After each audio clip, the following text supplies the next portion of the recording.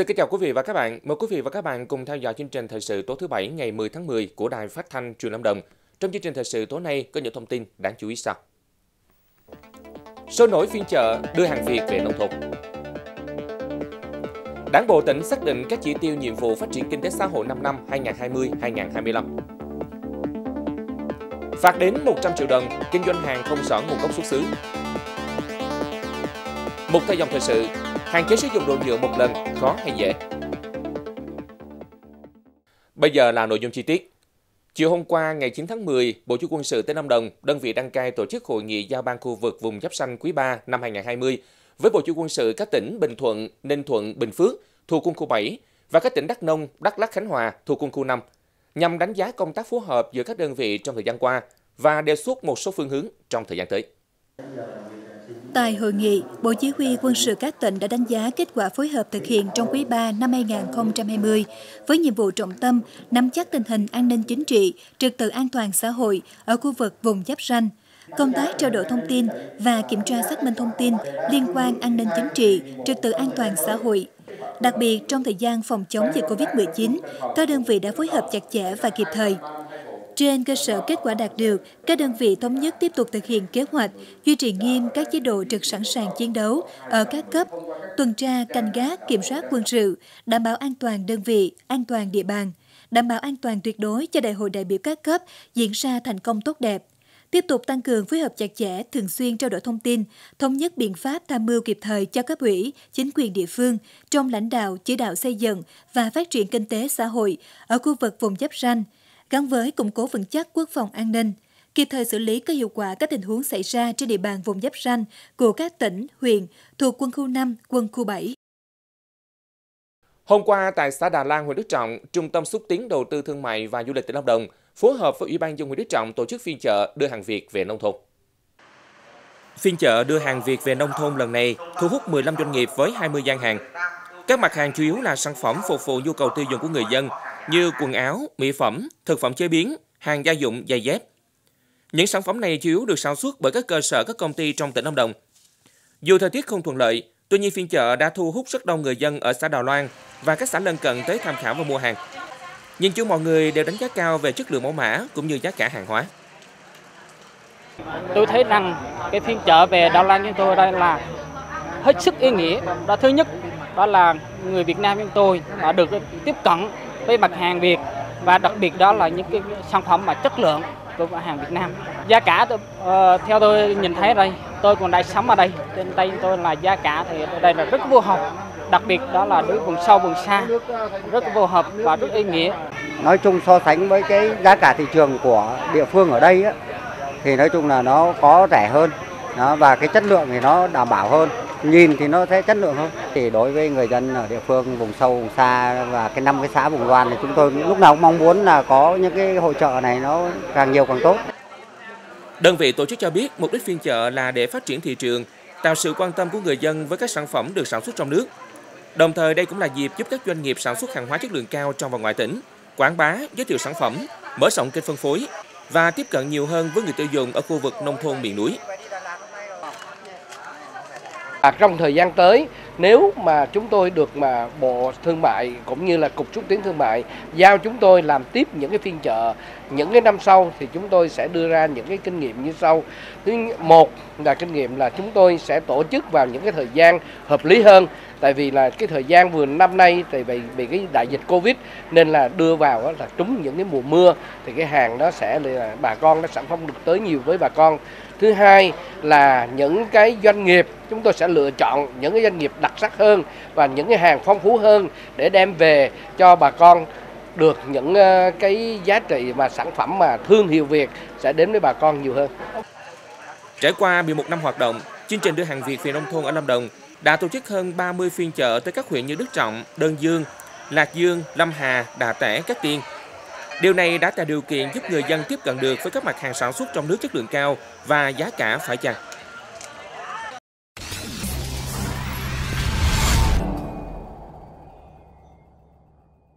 Đảng bộ tỉnh xác định các chỉ tiêu nhiệm vụ phát triển kinh tế xã hội 5 năm 2020-2025 cần thực hiện đúng quy định của pháp luật trong hoạt động sản xuất kinh doanh phân bón, là thông tin sẽ có trong phần tiếp theo của chương trình. Vâng trời đó.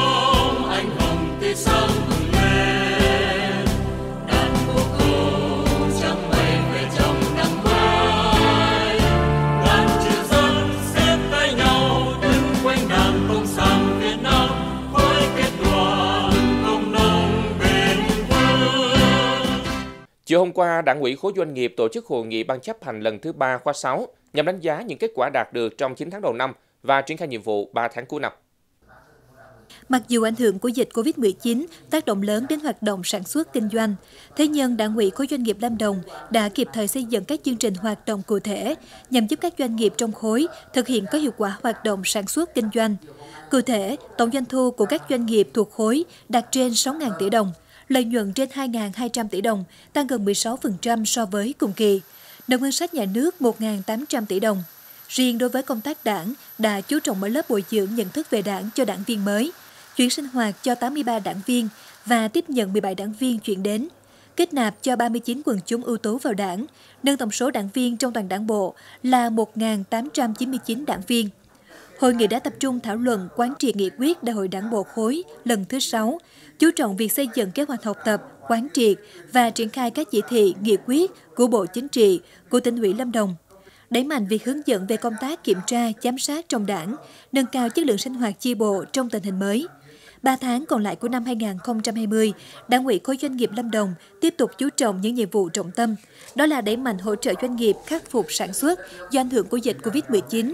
tập trung quảng bá thương hiệu sản phẩm của doanh nghiệp. Về công tác xây dựng đảng, tập trung thực hiện nghiêm túc nghị quyết Trung ương 4 khóa 12 về tăng cường xây dựng chỉnh đốn đảng và chỉ thị số 05 của Bộ Chính trị về đẩy mạnh việc học tập và làm theo tư tưởng, đạo đức, phong cách Hồ Chí Minh đổi mới công tác tổ chức thi đua và phương thức phát động thi đua để nâng cao hơn nữa nhận thức trách nhiệm cho mọi cá nhân tập thể, gắn với việc hoàn thành các công trình, sản phẩm chào mừng Đại hội Đảng bộ tỉnh Lâm Đồng lần thứ 11. Cũng trong chiều hôm qua, Đảng ủy khối các cơ quan tỉnh đã tổ chức hội nghị quán triệt nghị quyết Đại hội Đảng bộ khối các cơ quan tỉnh lần thứ 8 nhiệm kỳ 2020-2025 và phổ biến chuyên đề tuyên truyền về hội nhập quốc tế và vấn đề ASEAN cho 300 hội viên, đoàn viên, thanh niên trong khối. Tại hội nghị, các hội viên đoàn viên đã được lãnh đạo đảng ủy khối các cơ quan tỉnh quán triệt một số nội dung cơ bản của nghị quyết đại hội đảng bộ khối các cơ quan tỉnh Lâm Đồng lần thứ 8, nhiệm kỳ 2020-2025. Việc quán triệt nghị quyết nhằm giúp cho đội ngũ cán bộ đảng viên của các cơ sở đảng trực thuộc nắm nội dung mục tiêu và các giải pháp chủ yếu triển khai nghị quyết đại hội đại biểu đảng bộ khối các cơ quan tỉnh nhiệm kỳ 2020-2025. Trên cơ sở đó, các cấp ủy cơ sở xây dựng kế hoạch thực hiện nghị quyết, đảm bảo thiết thực phù hợp, góp phần hoàn thành tốt nhiệm vụ chính trị của cơ quan đơn vị, cũng như thực hiện thắng lợi các mục tiêu 100% đảng viên, 95% cán bộ công chức viên chức người lao động được quán triệt học tập các chỉ thị, nghị quyết, quy định của Đảng, pháp luật của nhà nước và các đợt sinh hoạt chính trị do cấp ủy các cấp tổ chức. 90% cơ quan đơn vị trong khối hoàn thành tốt nhiệm vụ. 90% cán bộ công chức đạt hoàn thành tốt nhiệm vụ, trong đó 20% trở lên đạt hoàn thành xuất sắc nhiệm vụ. 100% đảng viên, cán bộ, công chức viên chức cam kết thực hiện nghị quyết Trung ương 4 khóa 12 và đăng ký học tập làm theo tư tưởng đạo đức phong cách Hồ Chí Minh. Trong nhiệm kỳ, đảng bộ khối kết nạp từ 500 đảng viên trở lên.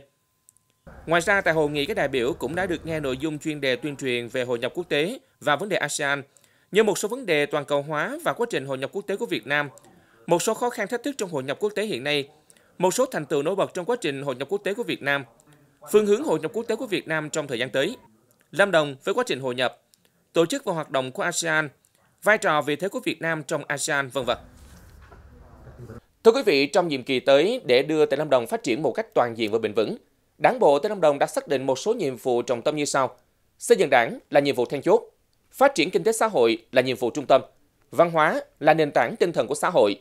giữ vững quốc phòng an ninh, trật tự an toàn xã hội là điều kiện tiên quyết để phát triển. Sau đây chúng tôi xin gửi đến quý vị và các bạn một số chỉ tiêu cụ thể trong dự thảo nghị quyết Đại hội Đảng bộ tỉnh Lâm Đồng lần thứ 11, nhiệm kỳ 2020-2025. Về phát triển xã hội, Đảng bộ tỉnh xác định trong giai đoạn 2020-2025, Lâm Đồng cần đầu tư đồng bộ hệ thống hạ tầng đô thị nông thôn, phát triển mạnh giáo dục và khoa học kỹ thuật, nâng cao vai trò văn hóa, giữ gìn và phát huy bản sắc văn hóa đặc sắc cộng đồng các dân tộc, đảm bảo an sinh phúc lợi xã hội, tăng cường quản lý tài nguyên, môi trường, chủ động ứng phó biến đổi khí hậu, đảm bảo quốc phòng, giữ vững an ninh chính trị, trật tự an toàn xã hội. Một số chỉ tiêu cụ thể như sau. Tỷ lệ lao động qua đào tạo đạt từ 85 đến 86,5%, Trong đó tỷ lệ lao động qua đào tạo được cấp bằng cấp chứng chỉ chiếm 23,6%. Tỷ lệ thất nghiệp dưới 1,2%, trong đó khu vực thành thị dưới 2%. Tỷ lệ hộ nghèo đa chiều duy trì mức giảm ít nhất từ 1 đến 1,5%, theo chuẩn giảm nghèo mới giai đoạn 2021-2025 của chính phủ. Trong đó hộ nghèo đồng bào dân tộc thiểu số giảm từ 2 đến 3%. Số bác sĩ trên vạn dân 8,5 đến 9 bác sĩ. Số giường bệnh trên vạn dân 24 đến 25 giường bệnh. Tỷ lệ bảo hiểm y tế toàn dân đạt trên 95%. 100% số xã đạt bộ tiêu chí quốc gia về y tế. Tỷ lệ tăng dân số tự nhiên năm 2025 khoảng 1%. Đến năm 2025, 82% thanh niên trong độ tuổi hoàn thành chương trình trung học phổ thông và tương đương. Có từ 82% trở lên trường mầm non và phổ thông công lập đạt chuẩn quốc gia. Phấn đấu đến năm 2025, có 92% số hộ gia đình được công nhận gia đình văn hóa. 95% thôn buôn tổ dân phố được công nhận và giữ vững danh hiệu thôn buôn tổ dân phố văn hóa. 92% xã đạt chuẩn văn hóa nông thôn mới. 90% phường, thị trấn đạt chuẩn văn minh đô thị. 98% cơ quan đơn vị doanh nghiệp đạt chuẩn văn hóa. Lâm Đồng đạt tiêu chí tỉnh nông thôn mới trước năm 2025. Trong đó, tỷ lệ số xã đạt chuẩn nông thôn mới kiểu mẫu từ 10 đến 15%. Đơn Dương và Đà Tẻ là huyện đạt chuẩn nông thôn mới kiểu mẫu.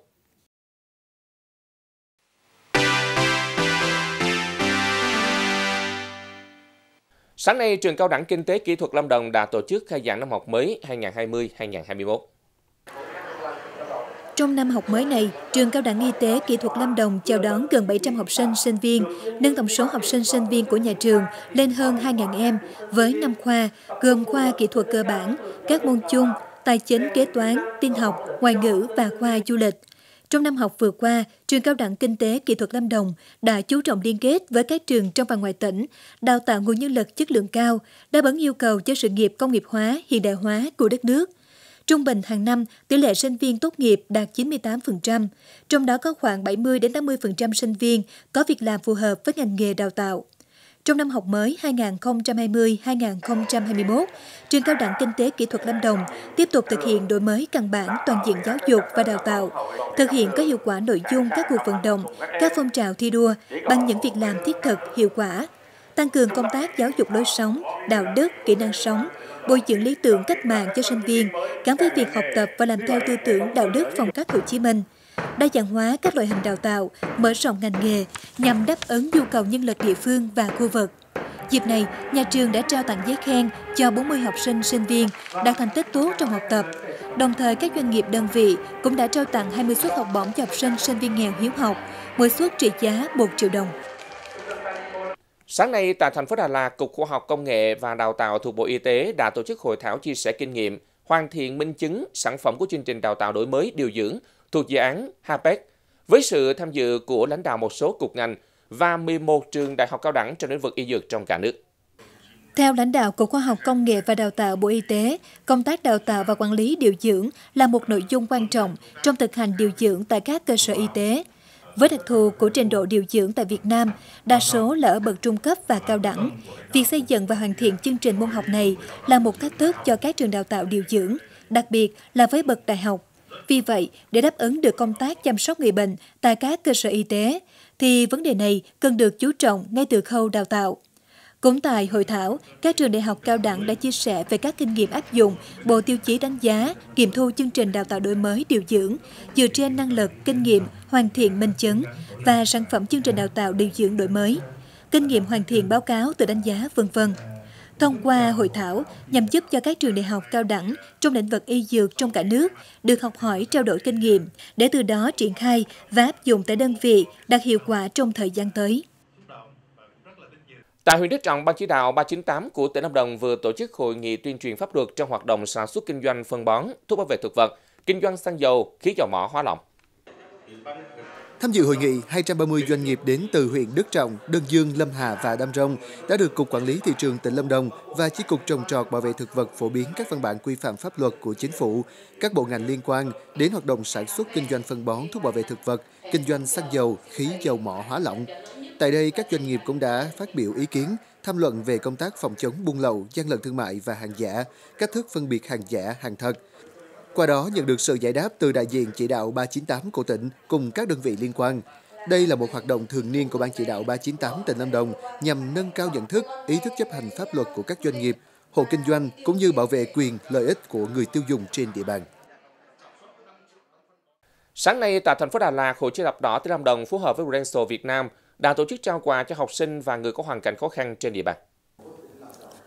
Hơn 40 phần quà gồm 10 xe đạp, 11 suất học bổng đã được trao cho các em học sinh có hoàn cảnh khó khăn vươn lên trong học tập và hơn 20 phần quà cho người nghèo gồm tiền mặt và nhiều yếu phẩm cần thiết. Giá trị mỗi phần quà tuy không lớn nhưng đã giúp họ vượt qua khó khăn, nhất là trong thời điểm dịch bệnh Covid-19 vừa qua. Đây là hoạt động thường xuyên của Hội chữ thập đỏ tỉnh Lâm Đồng phối hợp với các tổ chức cá nhân hảo tâm trong và ngoài tỉnh. Trong 9 tháng đầu năm, các cấp hội đã tiếp nhận gần 400 lượt đoàn từ thiện đến địa phương tặng quà cho gần 65.000 lượt người nghèo, đối tượng có hoàn cảnh khó khăn.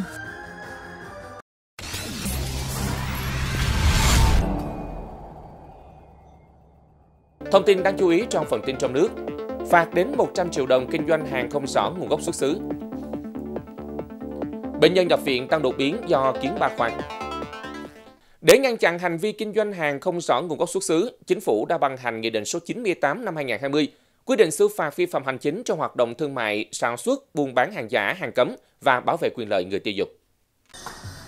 Theo đó, từ ngày 15 tháng 10 năm 2020, mức phạt cao nhất lên tới 100 triệu đồng. Nếu hàng hóa là thực phẩm, chất bảo quản, phụ gia thực phẩm, nguyên liệu làm thuốc, mỹ phẩm, trang thiết bị y tế, các chất tẩy rửa, hóa chất, chế phẩm diệt côn trùng, dược khuẩn dùng trong lĩnh vực gia dụng và y tế. Đây là những hàng hóa ảnh hưởng trực tiếp tới sức khỏe con người, môi trường, nên bị xử phạt gấp đôi so với hàng hóa thông thường. Ngoài ra, đối tượng vi phạm còn bị mức phạt bổ sung là tịch thu tăng vật phương tiện, buộc phải nộp lại số thu bất hợp pháp từ sản xuất kinh doanh sai phạm. Gần 10 ngày nay, Bệnh viện Gia Liễu Thanh Hóa tiếp nhận khám và điều trị cho hơn 200 bệnh nhân bị viêm da tiếp xúc kiến ba khoang. Con số này tăng một cách đột biến so với những tháng trước, cũng như thời điểm này hàng năm. Khoa khám bệnh, Bệnh viện Gia Liễu Thanh Hóa rất đông người dân đến khám, trong đó có nhiều trường hợp liên quan đến kiến ba khoang với các triệu chứng như ngứa, phồng rộp, nổi mụn nước, mụn mủ, lở loét nhiều vùng da trên cơ thể. Đa số các bệnh nhân đến bệnh viện thăm khám khi các tổn thương đã lan rộng. Nhiều trường hợp còn nhầm lẫn với zona thần kinh, sử dụng các loại lá để đắp lên vết thương, dẫn đến tổn thương không giảm mà tăng nặng và lan ra các vị trí khác. Thì buổi trưa ngủ dậy ở chỗ làm ấy thì tự nhiên em thấy cổ em nó rát. Để đến chiều đi làm về thì em mới vào hiệu thuốc thì họ ấy báo em là em bị zona rồi, mua thuốc đi với lại cho thuốc uống. Hôm sau thì nó không rát nữa nhưng mà nó chuyển từ rát sang chuyển cho về trạng thái là bị ngứa. Chị Nguyễn Thị Hạnh không biết mình bị kiến ba khoang đốt khi có những dấu hiệu ngứa, nổi vết mẩn đỏ, tổn thương da. Chị đã ra hiệu thuốc gần nhà để mua thuốc về bôi và uống. Từ vài nốt nhỏ gần bắp tay, chỉ 2-3 ngày sau, tổn thương đã lan rộng ra khắp cánh tay và các vị trí khác. Thì là tôi gấp tay lại thì rằng là thấy nó, nó lan ra thì tôi lại cũng tưởng là zona thần kinh.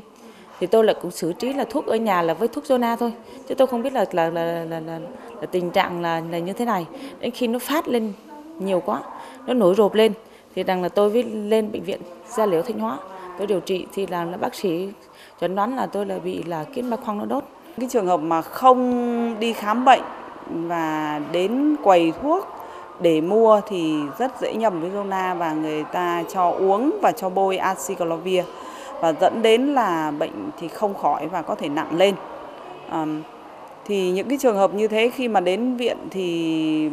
khi vào viện thì ở bệnh viện Gia Liễu Thanh Hóa chúng tôi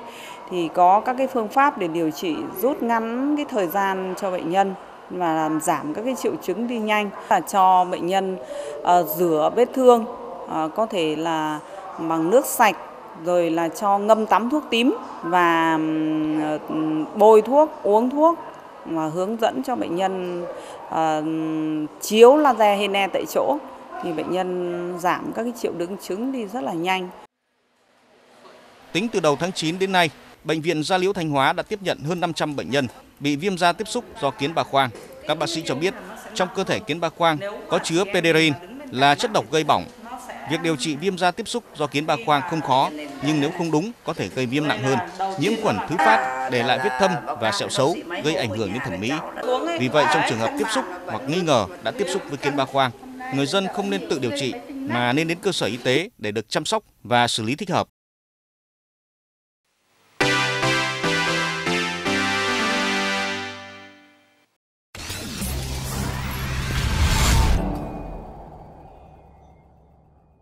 Phần cuối chương trình thời sự tối nay, một theo dòng thời sự, hạn chế sử dụng đồ nhựa một lần, khó hay dễ?